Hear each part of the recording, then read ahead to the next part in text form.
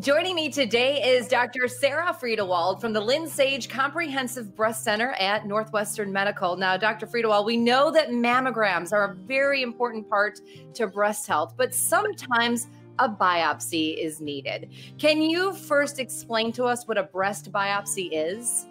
Typically, uh, when we refer to a breast biopsy, we are talking about a needle biopsy, which is performed by radiologists with image guidance. And it really is a way to uh, take a little bit of tissue out of the breast to identify what's causing the finding that we're seeing on the imaging. Why would someone need to have a biopsy if they're getting their mammograms done?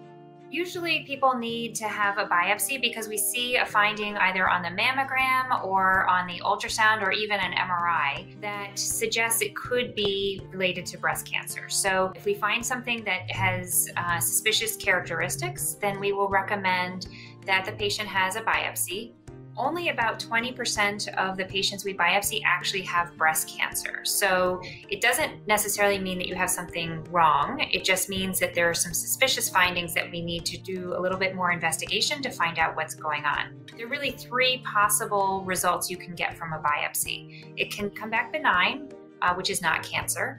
It can come back malignant, which is cancer, or it could come back something called atypia or abnormal cells that may need surgery to investigate whether there's some associated cancer nearby. So you get called back, you do your additional screening, and they say you need to have a biopsy. What should you prepare for? Patients really tolerate biopsies pretty well. There's no restrictions in terms of eating or anything like that. We just give local anesthesia, so we just numb the skin, numb deeper into the area where we want a biopsy. We take small pieces of tissue after that. So there really isn't much preparation. Usually, patients are very anxious coming in, but um, the anxiety is often just associated with what the results are going to be. Usually, results come back in about two days, sometimes a, a, little bit earlier. Let's talk about recovery. Are we able to get back to our daily lives right away, or should we take a little bit of downtime? It is an emotional experience. It is a little stressful. So it, it is nice to take the time off that day and pamper yourself a little bit. We ask you that you don't do any heavy lifting because we don't want any uh, extra bleeding to occur unnecessarily.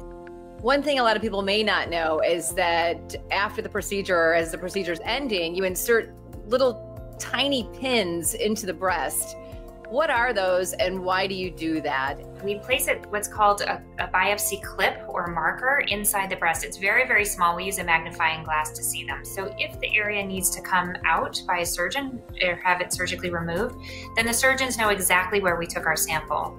Additionally, if the area doesn't need to come out, any subsequent mammogram or breast imaging procedure, the radiologist will know that that area was sampled. Patients shouldn't worry about these markers. You will not go off at the airport.